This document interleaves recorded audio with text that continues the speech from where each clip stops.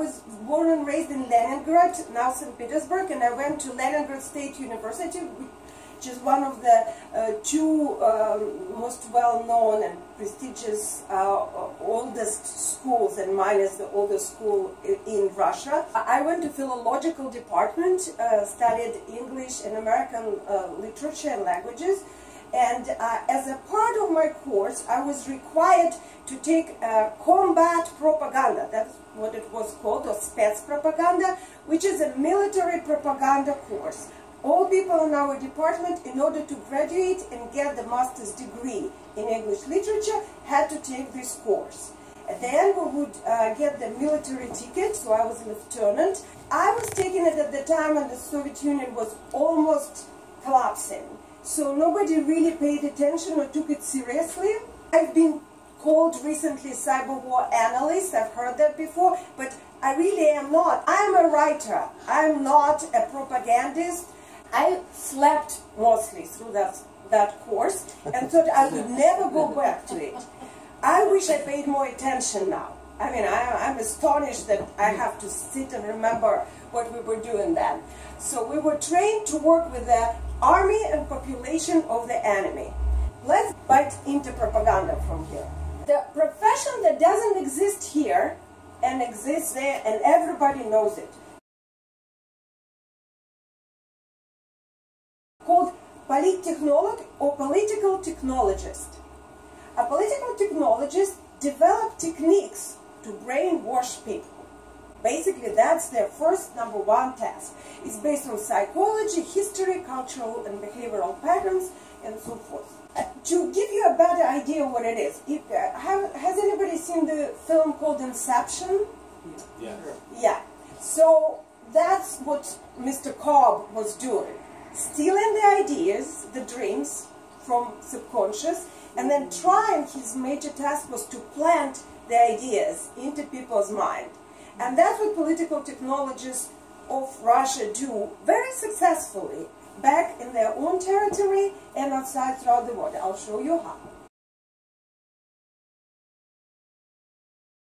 This guy doesn't look at all like Leonardo DiCaprio, but that was the lieutenant colonel who used to teach us. His name translates literally as hold the mountain, like a figure up. And um, we used to write these pamphlets. I, I had to do it personally. It's not somebody who taught me. I had to sit down there and write, American soldier, surrender, you are surrounded. Because we all had a really good laugh. I, I, mean, it was ridiculous. Nobody took it seriously. It was, in my department, English department, was um, all girls because the guys had to go and serve in the army. It was a war in Afghanistan. We had no men. So it was all very, you know, like girls who were interested in fashion and nails and stuff. So there was interested in nails there. And right, American soldiers surrounding us surrounded. Uh, some people would get more creative. I found some articles on the web um, from some guys who were the students at the Middle Eastern faculty, and they were more creative. They would uh, come with something, what brought you here, brother, come home, see your family. the most creative one I've seen, while you're rotting in trenches, a billionaire is kissing or making love to your girlfriend. Go back home. yeah. Next one, please. Uh, so uh, the way it was done was quite peculiar, just how secret it was, and also ridiculous we had these um, notebooks that were about that thick that we, in the beginning of the course, had to pierce with a big needle that you used to sew your shoes. There were problems with having shoes as well. So, and the thread, so we would thread it together, tie the uh, threads together, and then each individual um, uh, notebook would be stamped. There would be a seal, like a 19th century wax, and the seal. And each page had to be accounted for. So we had this pathetic incidents. We also didn't have toilet paper in the Soviet Union. That's socialist for you. So apparently some creative people would use occasionally a page from a secret um, notebook as toilet paper. And one time, I personally was present when our Hold the Mountain uh, officer brought the piece of paper back to the classroom and we were comparing the handwriting oh. to see who was the, the criminal who could tear off the secret So, um, yeah, this is a real anecdote. That's, what was happening. We were not the only lucky ones to have that. The journalist at Moscow State University had uh, that course as well, um, and some other institutes as well.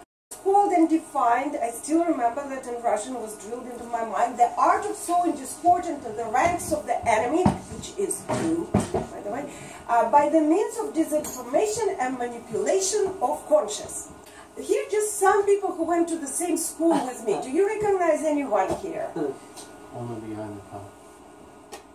Well, actually, the guy in the middle. Yeah? And the guy woman. Can, can somebody Three. name? Okay. Putin, Can- uh, yay! Uh, uh, Dr. No, Myers. And then uh, the guy on top I recognize as government official. Very good. Yes, he is the right-hand man of Putin, Igor Sechin, who is the head of Rosneft, the major oil company in Russia. All these people went to the same school. Uh, these are the trolls. Uh, has anybody heard about Leningrad Trolls Factory? Uh, the, the, the one that who sit and uh, write posts in Facebook and Twitter that we receive here on the sand.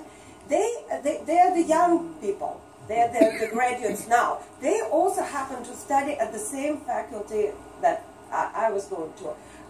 Russia. Uh, this is not as bright, but I just wanted to show you the size of the country because sometimes people forget just how big it is. And it's important because it really influences the mentality there, the geopolitical trends, several facts that are important to remember. It was a USSR uh, from 1917 to 1991, and they called it communism, although it was not. God only knows what it was.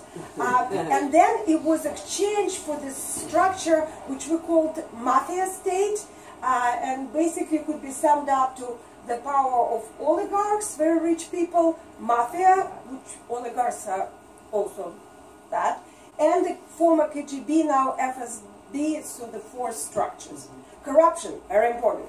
Putin is a dictator, in case, you know, you, you, you somehow missed it or you were hearing other things. Just a little reminder, I'm from the same city. I remember when he came to power, I was working with the people who worked with him it- it's you know it's like in San Rafael, San Francisco. I, I- we were like all together in the same boat. He's older, but I remember it very well. I didn't forget. The image of Putin as a strong man is well known. Even here, uh, here is a very popular image of him uh, with bare chest riding a bear, and it says, "Bear will not ask anyone." I'll leave it at that.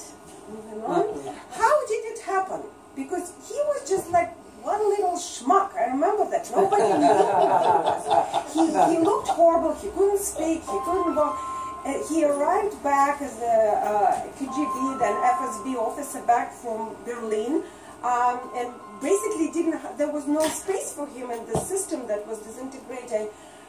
Well, over the last 20 years, the propaganda machine, and we're going to address exactly how it happened, turned the majority of the Russian population into ultra patriots. And here you see, this is, in case you're too far to see, this is Putin's portrait. There are people kissing Putin's, po- Putin's portraits.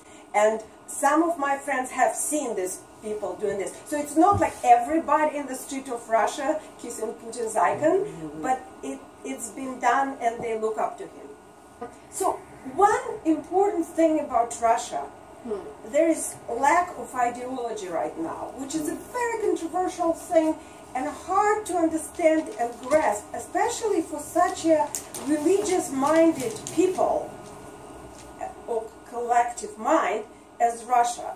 Because Russia has been bred on Russian Orthodox religion, on Christianity, for ages and ages.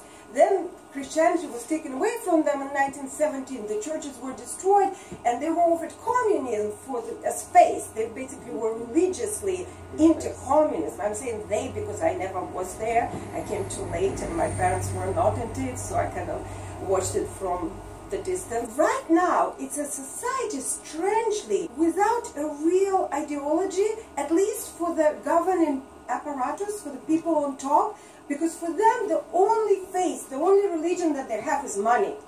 These are people who came to power in the beginning of 90s and they believed in capitalism. They believed in the capitalism in the worst sense of this word, not Robert Reich sense of the word, but like this Marxist, bad, oppressive capitalism where everybody is on their own and as much money as you can make is the best. They had to bring up a facade or a front of ideology in order to reign. They tried to go without it, that didn't work. So they using the propaganda machine to rule, to in, increase their personal riches and personal wealth, and uh, to install their uh, front or the visibility of ideology. This lovely chap um, is Mr. Alexander Dugin, and he is the main ideologist or ideologue of the Kremlin. He's called the brain of Putin. Um, so it, this is an incredibly complicated subject. I've listened personally to hours and hours of lectures on Duginism. Uh, it's very arcane. I'm not going to even try to, to tell you what he thinks, uh, but he is very well connected with the alt-right movements in America um, with Richard Spencer. Richard Spencer's wife is his personal translator, translates his work.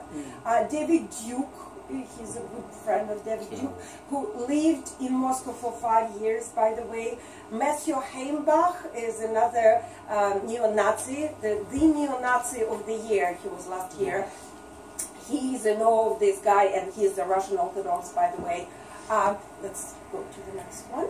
Uh, and uh, he, meaning Mr. Dugin, is on his part connected to the KGB FSB structures because his main sponsor, uh, someone called Malofeev, uh, is connected to the Patriarch Kirill, the main person in Russian church, uh, who also used to be the KGB officer. If all of this sounds like, oh my God, this is too much, well, you need to understand here that it's one structure that governs a very big country and the people on top are interconnected like this and they're basically bandits, mafia, oligarchs, people who made money rapidly and uh, by very dishonest means, and the former KGB.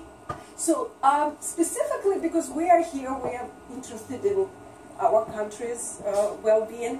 What is Putin's interest and ambitions when it comes to America? As early as 2014, I found that article, US would benefit from such a president as Putin. And that wasn't a joke, that was a very serious article on RT, Russia Today. Uh, and the, the, whole text is going on how wonderful it would be to have Putin for American presidency. as absurd as it sounds, not as absurd anymore as then. Doesn't seem absurd at all, man. I mean, Yeah, that's exactly. essentially what we have, a surrogate relationship. Right, exactly. And it's they're not hiding it. A subject that doesn't sound as very sexy or exciting, you know, propaganda, mm, you know, makes people sleepy. People should pay attention to that because they are openly stating, we are going to come and get into your brain and then into your land, and the message is out in the open and nobody is listening. And if we don't ring the bell, if you don't go home and tell your friends, like, this is what I heard, you should see for yourself, you know, we're not propagandists, but we should see for yourself, like, um, what it is, if the word doesn't go around in a few years, because that wasn't like this in Russia as well, nobody was kissing Putin's portrait when I used to live there, it, it all happens gradually. So anyway, not to scare you, but this is Putin's American ambition in 2017. Economic goals, to stop the sanctions that were imposed by Barack Obama on Russian oligarchs and uh, some companies, and have the US leave the NATO in order to weaken the European community that and make Russia more powerful. The ultimate goal is to weaken the US through the internal conflict, schism, and dissolution, eventually, possibly Brexit style. Uh, and I know this sounds still like, oh well, but they were working on Calexit. You probably heard. Have you heard of Calexit? Mm-hmm. Yes. So, yeah. So that the guy who was promoting Calexit was married to a Russian woman and lived in the city of Yekaterinburg. And uh, although he was American, he certainly was supported by the Russian structures. There is a separatist movement in Texas as well. Uh, so this is all happening. They're slowly working on it. The world domination is the ultimate goal, obviously. And here is a it's a very rural place, and there's a big poster there which says, "Today is Crimea, tomorrow is Rome." This is a great song. Today I shared the little article with the video where there uh, this uh, children in military uniform and the member of Russian parliament singing a song. Is it's like it's very new, it's just one month old, just released. Uh, we will bring back Alaska to the harbor of our motherland. They also sing a lot of other interesting things uh, in that song, so you can visit it. It's in the event. If you click on it, you see. Uh, let's go on here. Uh, this is Uncle Vova, we are with you, saying the children. Uh, Vova is a diminutive for Vla Vladimir, so it's basically Uncle Vladimir Putin. We will be with you. If you call us to go into the last battle, we will go with you. We'll die for you. And this is a flashback and kind of would be traumatic for me if I were not trained not to take it personally, because I was forced to wear this little signs on my chest, on my apron, because I had to wear an apron in school. Uh, and this is a young Vladimir Lenin, uh, the you know the founder of the communist state. So there's definitely a parallel, and they're using these uh, things that are not immediately obvious, especially to the younger generation. But they are sending us back to the Soviet Union, to the time of the Soviet Union, the USSR was a power. So, uh, this is additional goals for the for Putin's propaganda machine. Creating a scapegoat, creating the enemy for internal security. It's a very old trick, was not invented by the Russians, was used forever, like when uh, one part of population is being singled out, uh, and then, you know, sometimes it's the Jews, sometimes the other nationalities, but uh, then, um, so in this case, we're having the Americans being singled out as the scapegoats. So this says, shut your trap, chick, or chicken. And this is the bald eagle. And this is a bear. So bear, pers you know, personates Russia. This is the, the, the chicken, in this case, is America. In case people don't get the subtle message, it says here in big letters, we are against the politics of the USA. So, you know, so to be crystal clear, this is a horrible racist connotation, which I couldn't even get to the bottom of it because it's so intricate. It says banana Obama. It doesn't even say, so, uh, and banana says Ukraine, and here it says don't don't choke. And to be honest with you, I, I'm still not exactly sure what it means. Something really bad, but It's very. used a lot in soccer. Um, for the African players, they throw bananas at them, oh, like they're an ape in the tree. Yeah, yeah. you know. So it's a, it's So, a yeah. racist It's a insult. racist insult. Yeah. Yeah, Yeah. but uh, the whole Ukrainian because Obama uh, put the Yeah. sanctions in, Yes. uh, and right. this is connected to Ukraine. So anyway, even if you don't get it, if you're a person just walking by there and Yeah. see five of this on the way, and you do know exactly who Obama is, Yeah. and but you, you start getting this uh, subconscious Yeah. message. And- what is the main goal of commerce propaganda? And uh, this is what I want you to remember. If you go home and you forget everything I said, which is totally okay, I want you to remember hopefully three things, but if you can only take one, that will be the word demoralization.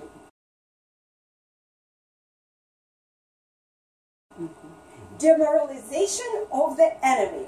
And if I am to expand on this, it will be demoralization um, or weakening of the enemy population and the army. That's what was drilled into us. But basically, it all boils down to the morale, and it could be achieved through several means, and it could create different effects, mainly leading to confusion and losing ability to think independently and to the state of panic. How is it done? We'll be getting through it again and again and again, but I want to just like start by summing it up. By planting discord, planting discord, that's another thing. Discord is a very old principle, it's divide and conquer, right? We all know that. So, you know, the ancient people used that. Yes. Well, America's an incredibly racist country. And America's an incredibly sexist country. So exactly. they have used, I've watched, they've used very effectively Exactly, Frank. racial uh, imagery and sexist imagery. Yeah, and we are going to get to some of that, but that's a very good observation. You know, um, the, in fact, I'm going to go. I don't have a slide for that, but we it's all happening, so we know what's going on. The sex scandals of today, they are happening. They are real, just like we are real here. There is uh, Weinstein, or whatever is his name, and all these women he offended. There, like we can go on and on and on. All this happened. This this is the reality, and we're going to get to that in a minute too. So the people there in Olgino Troll Factory are sitting there and they're analysts and they're looking up, they speak perfect English and they're looking up and reading everything and said, oh, this is perfect. We're going to get on Facebook or on Twitter and get these feminist groups and then we're going to mm. get this other group, mm-hmm. um, say, I don't know, parents group and get to the fathers. And then we're going to clash one against another. Mm-hmm. And this is going to be a, an epic battle, and that's what we're watching now. Meanwhile, there's so many advantages to this. A, that's a lot of noise and bad buzz that distracts from the real economic changes in our particular situation that are happening. That deals with pipelines, for example. There are environmental disasters. Exactly. I, I'm not even going into like tax system. Yeah. I mean, there's like everyday things mm-hmm. that need to be done discreetly, and this noise is helpful in any situation, not just for us. Problems exist, like you said, like in most countries, there are prob- uh, problems between uh, races, between uh, genders, between generations, but in this case, religions, but in this case, they will be used and abused and manipulated. Uh, the, the world of real life and the world of dreams inter- interconnect and there are ripples going from one into another. And at some point you start losing the reality. A- and you don't know which one is affecting which. And that's what plays into the hands of uh, propaganda. And i'm very glad to see that you guys are kind of nodding and look like you're getting me. Because it's a very difficult concept. Right.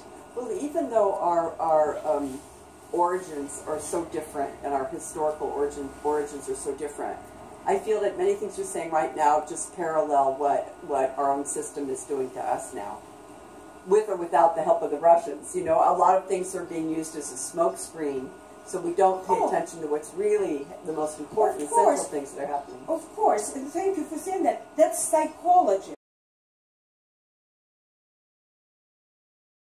This is another extremely important part to understand. So number one was anybody remembers one word? Uh, Demoralization. You guys, yeah, you're wrong. So demoralization. This is a little bit more complex, but if you need to remember one word, it would be stress. So what about stress? Uh, the propaganda machine alters minds and behavioral patterns by using stress. This is here we're going into physiology. We're going from psychology, from the pure intellectual level, just to the body, because all this science is based on Pavlovian research. You've heard about Pavlovian dogs. So he was doing his research in uh, in the city of Leningrad in 20s and found out when the, his laboratory with the dogs was flooded and the dogs were extremely stressed, their behavior changed dramatically. It was much easier to teach them something that they were not responsive to before at all. Uh, so based on that, him being academician Pavlov, he's, he and his co-workers started to do a lot of research.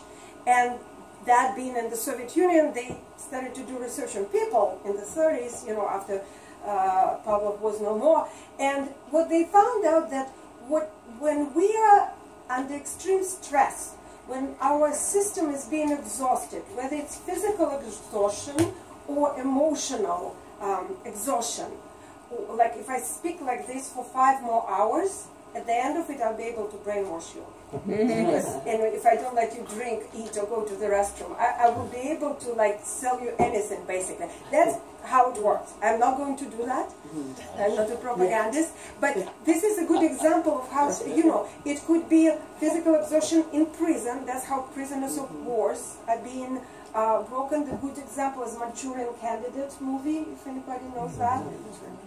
So when they're uh, all the time under a lot of stress of all senses, and then after that they can suddenly, and it happens suddenly, change their views, you know, completely.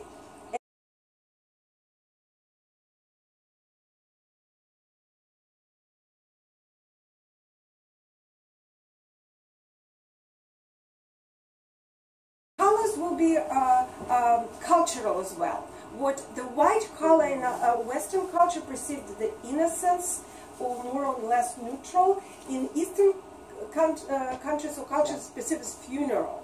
So it could be anything. So mm, the propagandists will use the knowledge of the culture accordingly. They study that. They will use it. They will not use the same message in every even city. You know, what's specific for San Francisco even San Rafael will not be understood in Texas. Uh, so here is a meta example.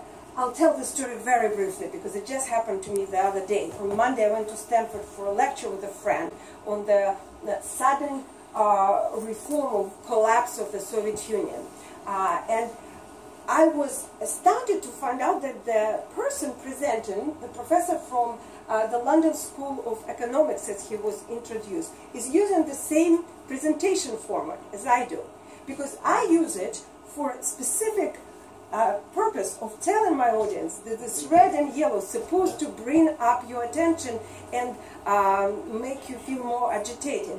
This person was not making any such revelations, as you can imagine. Instead, to my horror, I found out that his main message was that the Americans are to blame for the collapse of the great empire of the Soviet Union. That was his message, which was very, very well presented, very well veiled. If I didn't, uh, if my subject at the moment wasn't studying propaganda, I might have missed it, although I probably wouldn't. And then uh, I, I, was very, very upset. It was not a good lecture, and um, at the end I told the presenter so. But when I went home, I did a little research, which I do, I, and that's what I recommend. Whenever you see something that is surprising or strange, do your research.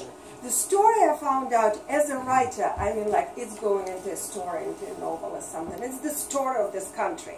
And I, I'm going to tell the story briefly so you understand. His grandfather, um, they're Jewish, his grandfather, Lev Zubok, uh, immigrated as a child to the United States in 1913 when the Jewish pogroms were happening back in Russia, before the Bolsheviks came to power. Grew up here, spoke only English, called himself Louis Zubok, got his degree at Pennsylvania University, became a communist, and went back to the Soviet Union in 20s. And there, because he was an American, he became the first American historian working for Stalin. He was the father of Americanistica, of uh, American sciences. And he worked until he was 1967 and went through the purges. Uh, he was saved from being arrested and killed by Stalin's and Molotov's daughter. That you know, Stalin, you might not know Molotov.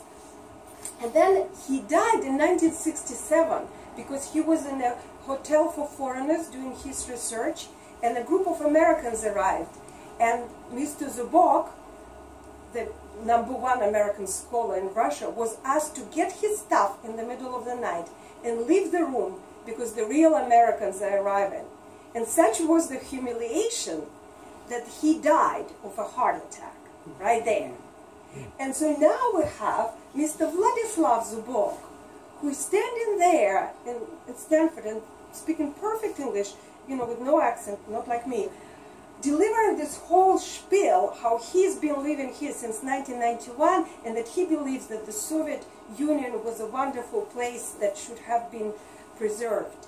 And that, that is a person who is not being paid by Putin.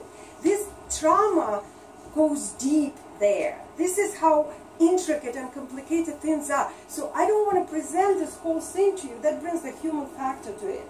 It's not just the story of money or somebody's rational thinking. There's this family histories, tragedies that that are at the core of, of people's convictions, or at least what people present as their convictions. But the reason I put it here that he was using the same colors, mm-hmm. and he went to a KGB school back in Moscow. So. Uh, the use of smell and taste. Uh, this is the Russian grocery store that is playing Russian television. So you see the meat you not like and you recognize, and then you hear the uh, pro-Putin propaganda coming here, targeted at the Russian um, immigrants who are heavily pro-Trump and heavily pro-Putin, surprisingly. Uh, so this is touch and association.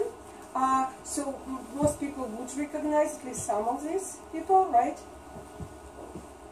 You know, Uh, Joseph, is that Vladimir, Vladimir. Yeah, I, I feel a little more formal with these people, but that works too. yeah, so they all have in common that they do have first names. It's important to remember that there were people. Thank you, Fred. And they're holding cats, little children, and even a koala. And they're sending you this nice, furry, sweet image.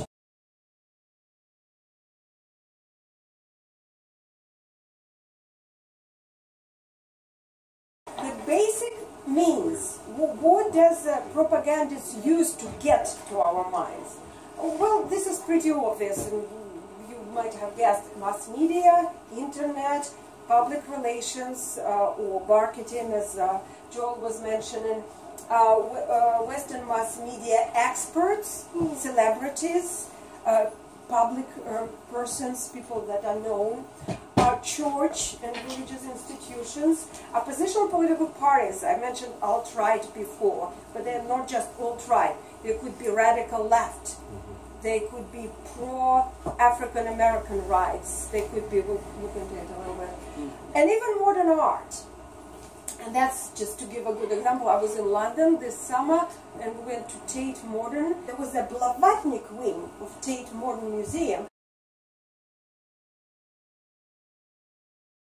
And Blavatnik, you must know, is uh, one of the top oligarchs and Putin's allies. He has his name on one of the Oxford schools, uh, a lot of cultural institutions. Uh, he's holding a lecture, uh, not a lecture, the exhibit at the uh, National Library in London, and there's this whole part of Tate Modern called, named after Blavatnik. That's what money can get. So the modern art, you you know you don't know who he is. You walk there, you see Blavatnik, and then like Blavatnik is now good. Somewhere back there, you recognize his name. It's like, oh, I saw it. Something connected with art.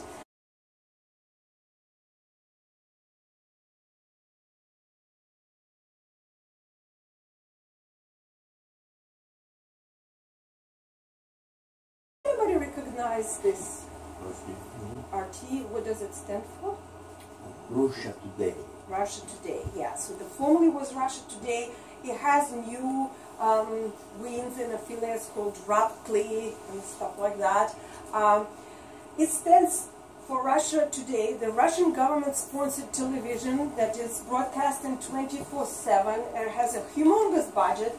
It was 300 million as of 2016, all coming from the states and obviously reporting to the state directly, all the way back. By the way, if uh, people don't know uh, by any chance, Al Jazeera is a Qatari state channel and reports the same way to the Al Thani dynasty in Qatar. Probably have heard that Russia Today had to register as a foreign agent finally, like a couple of weeks ago in the United States.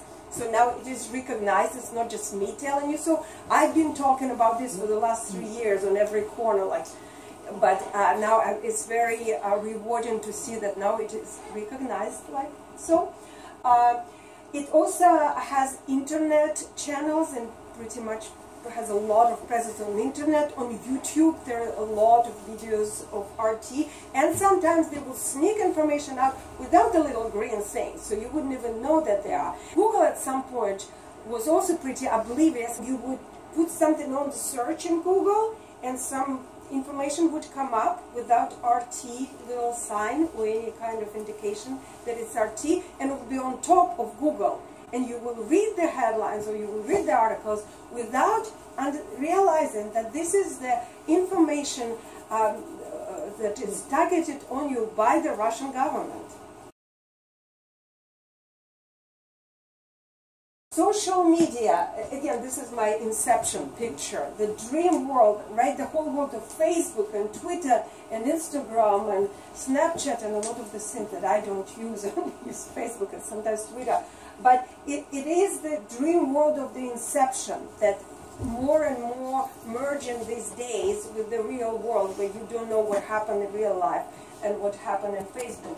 And so this way the propaganda is all the way from Olgino, from the troll factory there, can um, influence things here. In fact, they did the experiment the first time in 2015 when they installed the monitors in Times Square and they put a little event on Facebook promising a free hot dog for mm. anyone who would show up there, at 12. And people showed up. There were no hot dogs, nobody to meet them, but people back in St. Petersburg at night, because for them it was in the middle of the night, were watching the monitor, seeing that people are coming. And that's how it was. They had a little champagne, because that's how they decided, yes, it could be done. And from then on, there was a campaign that was going up and up and up and got funded more 2015 influencing the united states uh, through internet and putting together events and um, so we're still talking about basic myths that the propagandists would use. This use of religion and marketing techniques. I may slide together. So this is a back in russia uh, this is a russian orthodox priest who is blessing the guns that their army soldiers will then take and go kill someone. These are the Hollywood, the Hollywood uh, fame walk style stars, only they are not fame, they are shame. So the opposition leaders are encircled in these places, and this is a public restroom at the Moscow railway station. And I have to say, there has been a lot of progress. When I used to live there, nothing looked that clean. I mean, my God, all I see is like that on the toilets now. Yeah, Putin really rules. Yeah, let's keep going.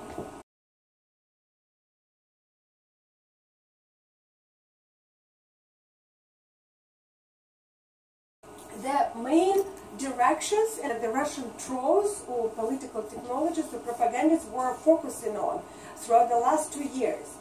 Black Lives Matter, there were posts coming from, it is now established because they have IP addresses. There's information, data, it was passed on by Facebook and Twitter to the House Intelligence Committees.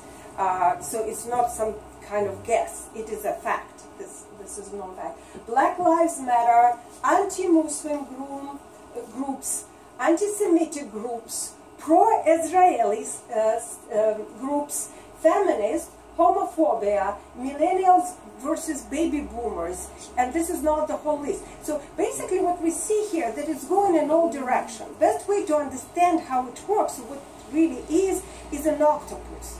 I wrote and read a poem at Litquake in San Francisco. This, this horrible image of an octopus that has many tentacles, that it reaches all over, and that shoots the poison all over the place, that intoxicates the brain of its victims, so the victims are paralyzed and cannot think critically, cannot move on their own. It retreats when in danger, and it can change its shape or form. That's why you see list like this. Like, how could it be? How could they support both the neo-Nazis and alt-right? And are you saying they were supporting Bernie supporters? Yes, they do. They don't care. They're actually not racist. Like Putin is not a racist. Putin doesn't care. The, the machine doesn't discriminate. They just manipulate and use. They don't care who. It mm-hmm. doesn't matter. It's a very hard concept because we are humans. We are not this steel octopus that can operate like this.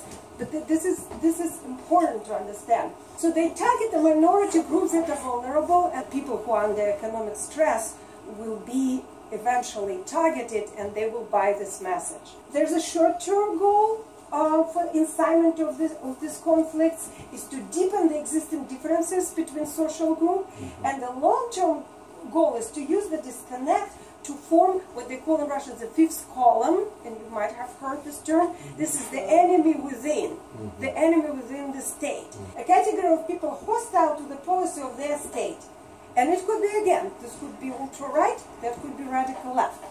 that they will be used as the enemy, labeled. And I have found the unclassified, the only unclassified manual on combat propaganda. It took me a long time to, to search for it in Russian internet and the depths through the images and PDF, but I found it and I got it and I was translating parts of it. And so they have, it's very hands-on, practical guide. And so their, there are categories and ethno-psychological characteristics by ethnic groups, by people. For every country, there will be Italians, Japanese, Kazakhs. Again, the system doesn't discriminate. They target everyone. So for Americans, it was into the good stuff. It starts with the good qualities. Entrepreneurial spirit, practicality, uh, lively positive attitude, openness to experiment and risk. Lovely, right? Uh, inventiveness, independence. So the positive things go on, and then it goes into the negative things. And for Americans, it is lack of discipline, rudeness and bragging, arrogance, arrogance in communicating with representatives of other ethnic communities. So the propagandists who will be assigned to America will first learn this and much more before they will start designing the messages. And there are lists like this for Jews, for Russians, eh, for Russians as well, with a lot of. So they will be very specific. They will really be an expert on your particular group, uh, whether it's ethnic group or gender. Support of opposition groups, as we mentioned here. I want to bring to your attention this one visual. It's hard to see, but this is the same picture of Putin with little koala. if you can remember that. And it says, no war with Russia. Putin is your friend. And there are more Putin uh, photographs with impeach Obama because it's the image from January 2015 at San Francisco State. There was a stand there. And like the moment I saw that, I was like, oh my God, they're here, they're here, they're coming for us. and I, I was running around telling my friends, some Russians were like, huh, well, maybe, and Americans just dismiss as a completely crazy nut person. Now I'm getting a lot of emails and phone calls apologizing, telling me like, how could you know? Well, I was trained and I grew up there. I knew what was happening. Like these are the mm. signs. When you see images of dictators with the nice furry animals at a bus stop, you know what's going on. Experts and oppositional group leaders uh, this is Steven Seagal. Mm -hmm. uh, there's Gerard Depardieu, Richard Spencer on RT. What, does it, what does it say under? Uh, founder, online no, magazine, alternativeright.com. No, what does it say under uh, Seagal? Oh, he's a, he's uh, Steven Seagal on Western media coverage of crisis in Ukraine. Apparently, he's an expert on Ukraine. Yes, they couldn't find another expert. Language, I'm not going to give you the full analysis, but that's what they taught us to do. That's actually what I remember from when I was waking up in my class. We were writing the pamphlets. Use, using of particular words uh, to get your attention, to get into your brain. Um, this is just a sample that I found on the uh, web, since people are interested in. Today, America is in danger. There is a civil war okay, danger, war, have several words. They are getting to on a different level, like a drum beat. There will be words like dirty. They would describe things as the pogroms, coup d'etat. Things, coup d'etat is too French. It probably wouldn't be visceral for you know native English uh, speaker. Uh, but the dirty methods, dirty especially, we get the visceral reaction. These are the words, they are key magic words. Writers know that too, that gets to people's senses in a different way. Unlike long Latin-based words that uh, politicians use. You know, when a politician makes a speech addressing people, working people on farmlands somewhere in the middle America, they don't understand what these people are saying. But when the propagandist from Facebook addresses them, they know that these dirty swines, they know what dirty swines mean. So it's, it's the, it, that's called neuro-linguistic programming and it's been used and abused. There's a certain use conveyor which I've experienced personally. The knowledge is planted.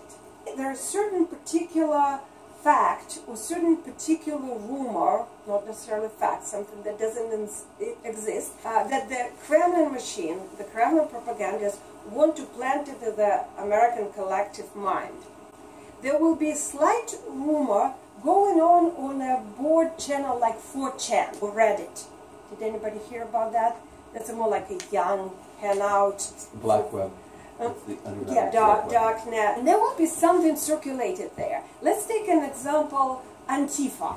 Anybody heard of Antifa mm-hmm. Yes. here in the where? Yeah. So there will be a rumor that say at the end of August that Antifa is preparing a massive attack on Trump supporters. So that will be circulating and circulating, and from there it will seep into the social media, not darknet, but Facebook or Twitter, and it will go into some groups. And then people slowly will start picking up on it, and the rumor starts growing bigger and bigger. From there, somebody starting uh, to give an interview to a local, say, uh, Berkeleyside. So uh, there will be in Berkeleyside, there will be a little mention of Antifa preparing some violent attack on innocent people. There it will sit, and it might sink down, but when um, the actual protesters arrive and counter protesters arrive and the cops arrive and there's big commotion and has anybody been there during yeah yeah me too. So you're in the middle everybody's running back and forth sometimes. Sometimes they're just standing around and just talking talk talk talk and there's some correspondence here and there. And then correspondence back uh, in new york say abc news. And they, they don't have for some reason they don't have anybody on site. But they do want to report because on social media there's a lot of talk of what's going on so what do they do? They try to find someone or they just read what another person who's on site is saying. So san francisco chronicle correspondent is quoting someone someone who she doesn't whom she doesn't care to check and who turns out to be Based Stickman or Carl oh, Chapman right, or one of the leading alt-right hero who gives her some information. She quotes him and she puts the tweet in San Francisco Chronicle um, article online. And then the ABC News picks it up and echoes it. And then CBS News picks it up. And then I am there and a friend says, oh, the ABC is looking for someone to report. And I say, okay, fine, I'm writing my article, I'll report. And I'm on the phone with the lady for 20 minutes, running around, literally, telling her what's going on. Well, Antifa is running here, and the, the uh, Nazi, whatever you call them, they're running away from them. Now they're attacking back, and Antifa's standing. Nobody is being hurt. And she's interrupting me, and she's saying, no, no, no. But I hear that there is a gas being used. The tear gas is being used, and the barricades are being destroyed. And I'm saying, ma'am, I'm standing right here. I'm, it's a small park. I'm on the know, where the fountain is. I'm right here. I, they, I, I would see it if it were happening. Like I would feel the tear gas. And she says, yes, but uh, I don't remember what channel. But the other channel is reporting that it's happening.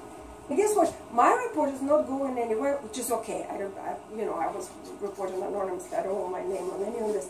But uh, the rumor from some rumor from some rumor is getting mm-hmm. all over the nation.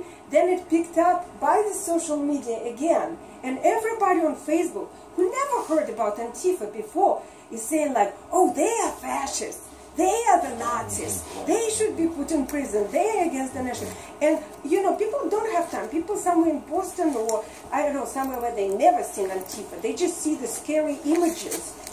And all they can say is like, oh, well, I mean, it was in the New York Times. There was a terrible article in the New York Times. And that's because the journalists are not doing their jobs for whatever reason. And I'm not blaming the journalists. There's so much going on that they are being demoralized by the propaganda machine. They are being used and manipulated as well. This is how it all happens. And this is why I want to actually teach this to the journalists as well, uh, or to everyone who is involved, the, the users and the producers of the news. Uh, this is what really is happening. There are many, many examples like this um, that, that are happening. So I had a lot of examples of how it, oh, here it is, like Lizzie Johnson. Yeah, not Jenny, Lizzie Johnson. This is from Kyle Chapman. She's quoting basically a person who, who, who talks openly about white supremacists. Like, why is she doing, and again, she probably didn't have time. She was running with everybody else and A felon who lives in uh, Daly City. Yeah, he moved. one resource that I really recommend is called Hamilton 68. It's Democratic Coalition.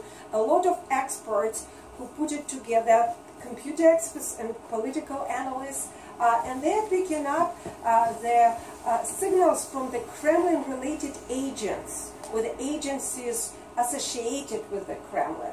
And they, you will see these graphs there with top hashtags, trending topics, trending hashtags, and also a little summary. So you could see that they, they do the summary of two-week period. That the last two weeks, the uh, um, topics that were pushed by the Russian trolls were all basically the sex scandals. Mm-hmm. And that's how you know what interests them.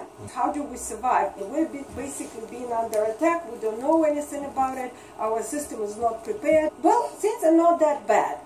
They want to demoralize us. We need to stay together. We don't want to be confused. We don't want to panic. We want to stay positive. We want to stick to our values.